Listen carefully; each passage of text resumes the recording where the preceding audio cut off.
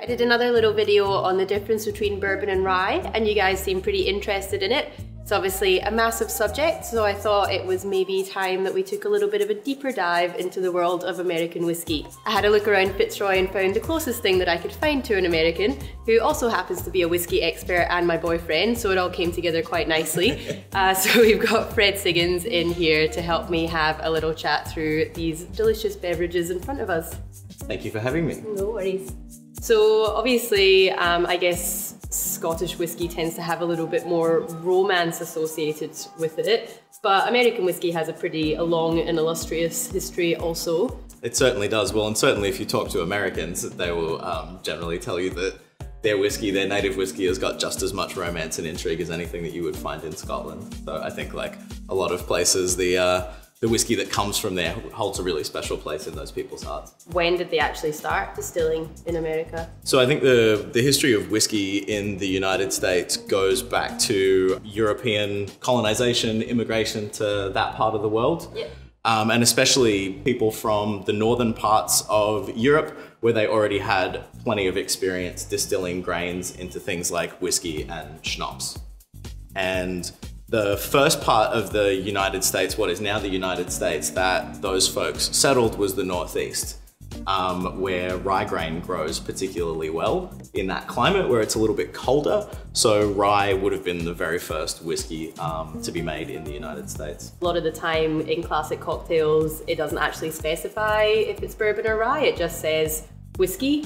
Um, but it's probably fair you know, when it's stuff that's coming out of New York in like the 1800s, early 1900s, it's probably going to be rye that it would have been made with. Absolutely. I mean, I think that it's important to remember like now we can ship stuff all over the world, but for the most part, if you're in Ireland and you walk up to a bar and ask for whiskey, you're going to get Irish whiskey. If you're in Canada and you walk up to a bar and ask for whiskey, you're going to get Canadian whiskey. Obviously, if, in, if you're in Scotland, you're going to get Scotch. And in most of the United States, if you just order a whiskey, you're gonna get bourbon or some other form of American whiskey. So yeah, when those recipes don't specify things, you can almost always assume that it's whatever whiskey was being made locally. I did have in the kind of bourbon versus rye, I obviously explained that most American whiskey is with an E. There are a few exceptions, Maker's Mark being one of them spells it without an E. Mm-hmm. Is that sort of the, um, I guess, whether or not it was an Irish or Scottish family almost that would have been making I guess I've always assumed that. I've always assumed that because there were a lot of Irish folks who ended up in the United States and living in uh, whiskey producing areas, that that's probably the reason that they have the E. I do think it's important to remember, like, probably not to be too fundamentalist about it, that both spellings are actually valid. So, you know, you can have a rule, but you can break it as well. So, if rye was the first whiskey that was being made in the States, how did bourbon come about? And sort of, is there a particular reason that it's, it's so, um, I guess, linked so heavily with the South. Bourbon is a corn-based whiskey as opposed to rye, which is based on rye grain. And the big difference there is geographical. So what they found is people started to move south and kind of take over territory further down along the eastern seaboard of the US. What they found is that down there, that it was corn that actually grew better than rye. So they were using exactly the same techniques and traditions for making whiskey. They were just making it with the local grain that was available.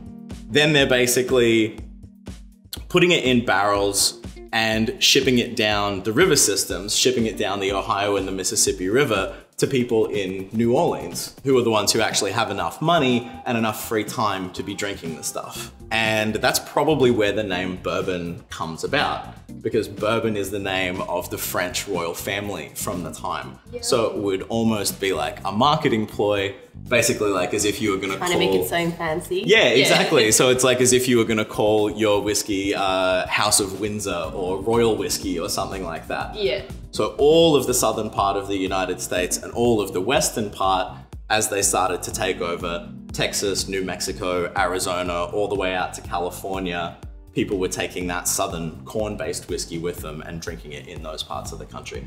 Yeah, okay, cool. So rye, I feel, kind of was a little bit out of vogue for quite a while, but it ha is having a bit of a resurgence now. During the sort of middle part of the 20th yeah. century, it all sort of fell out of favor. So there were really only a couple of bourbon brands that were surviving and thriving.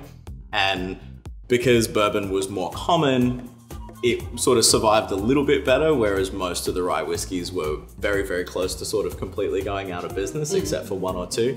And then, thankfully, in the last 20 years or so, A, people have gotten really interested in classic cocktails, and B, people are just pretty into whiskey these days. So you're seeing more rye whiskey brands, um, as well as more bourbon brands coming onto the market and being really successful. Another thing I always think is quite interesting about the bourbon industry is again, it's not really like in Scotland where you would go and you've got all of the different distilleries to visit. Like mm. in a lot of a lot of bourbon actually comes out of just a few distilleries, right? And then they're all kind of branded and marketed differently. Yeah, it's a much different system than you would find in single malt scotch, for example, where each little individual distillery and hundreds of them around the country have got their own individual style and generally just one label or maybe two that they produce. Yeah. In the United States, the vast majority of bourbon is and and rye whiskey is produced in about eight or nine really big distilleries each one of them producing sometimes upwards of 30 or 40 different brands so some big examples of that would be buffalo trace distillery heaven hill distillery um, and then you've also got some really really massive distilleries that are pretty focused on only one brand so stuff like jack daniels I imagine they have to pump quite a lot out yeah. They certainly do. They certainly do. Um, and Jim Beam would be another one. They produce a few brands, but for the most part, they're focused on just producing Jim Beam bourbon. Yeah. So yeah, it's quite different. Obviously, uh, that kind of American oak sort of vanilla flavor is such a strong indicator of this entire category of spirits. Is there sort of a historical reason for, for how that came about? Yeah, I mean, like a lot of things, it's all kind of pretty shrouded in mystery, and there are a couple of different kinds of research that have gone into figuring out why that is. But it's really important to remember with all American whiskey, certainly at least the stuff that comes from the United States, that by law, it has to be aged in brand new barrels, which means that all American whiskey is going to be intensely oaky compared to other whiskeys because it's getting that fresh oak flavor every single time. There's probably a couple of different reasons behind this, but the thing that probably makes the most sense to me is that if you look at the way that that river system runs down the middle of the United States, all the oak plantations are up north where it's cold, so that's where they're cutting down the trees and turning them into barrels, sending those down the river as they go past the corn growing areas, the whiskey producing areas in Kentucky and Tennessee. Then they're getting filled up with whiskey and they're continuing their way on down the river to New Orleans where people are actually drinking them.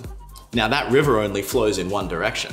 So there's a geographical reason for only ever using fresh oak, but I also think that, again, going back to the sort of marketing thing, the people in New Orleans, a lot of them were French, um, and they were used to drinking very well-aged cognacs and brandies from France that would have spent, you know, 20 or 30 years sitting around in an oak barrel getting that real kind of intense oakiness that we're used to from French brandies.